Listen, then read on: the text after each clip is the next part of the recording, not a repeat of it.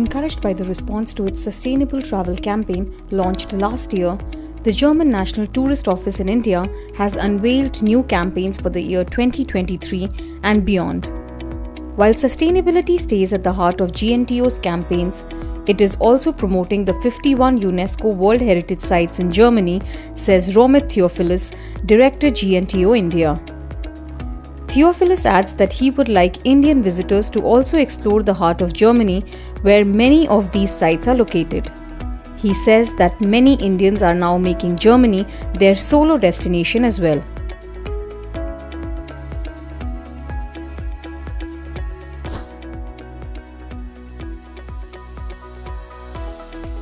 Our campaign goals barrier free, uh, which is accessible travel, feel good, which is sustainability, and the UNESCO World Heritage Sites and embrace German nature. All of these we have created itineraries for people that can actually go on our website and actually figure out how to do it and what to do. So this makes your life easier also when you're traveling. For example, accessible travel, if I was to talk about, we've actually marked everything by the kind of uh, problem you may have, whether it be you might be visually impaired, you may have an issue hearing, or you have a mobility issue. So there are different things, and we've gone further to talk about allergies also places you should go. So it's everything from hotels, routes, accommodations, everything.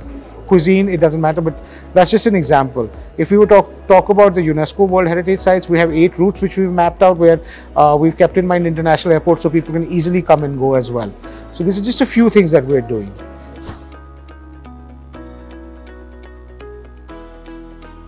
So, the, you know, the more we talk to the German travel industry about sustainability and the more people adopt it, we get more and more feedback about how they're doing it. So whether it be how they're managing their energy, for example, how they're managing different types of uh, cuisine, regional cuisine for that matter, not trying to go out and source something, uh, adding to carbon footprint, etc. So it, it's just a question of the industry coming together and uh, the campaign will continue in, in, further years as well. And we're just trying to make sure that uh, um, we give the message out that Germany is a sustainable destination. So not much has changed except our communication has become much louder and we have many more participants part of the sustainable campaign.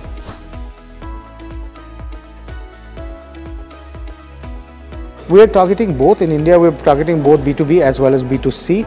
Uh, with B2C, we do a lot of work uh, talking about sustainability with uh, with journalists. We try and run campaigns, online campaigns as well, to try and give the message of sustainability out as well. Uh, with the trade, we do our regular sales calls, we do road shows, uh, partner with associations to try and get our message across.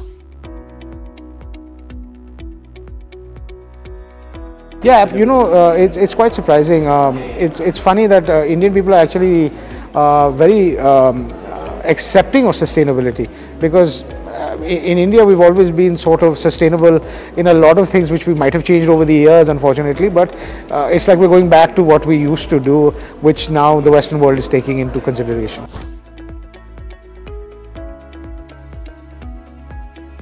Well, you know, it's it's both actually. It's, sometimes it is more expensive, sometimes it's not. I must be honest with you uh, about when you're talking about sustainability for that matter. So sometimes it does become work more expensive, especially when you're trying to work within a region suddenly, which you haven't done before.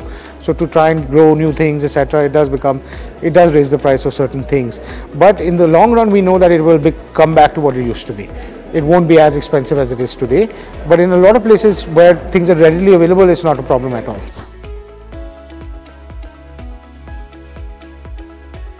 I'd like them to start visiting many more, like in Thuringia, we saw there was a lovely castle over there, example, and Thuringia is in the middle of Germany. So I want people to now start going into the uh, core of Germany, or the center of Germany, or the heart of Germany, so to say, because all that is being done is just this area, which is the borders, sort of, so to say, which are close to other European countries, and I want them to go and explore all of Germany. That's the idea. So we do see that a lot more people are going and choosing Germany as a solo destination. And we notice that what is happening is that how the trend of passengers has changed is that people who've gone to many countries start going to two or three countries and then start focusing on one country. So we know that this trend will continue and this will actually make our round trips go higher.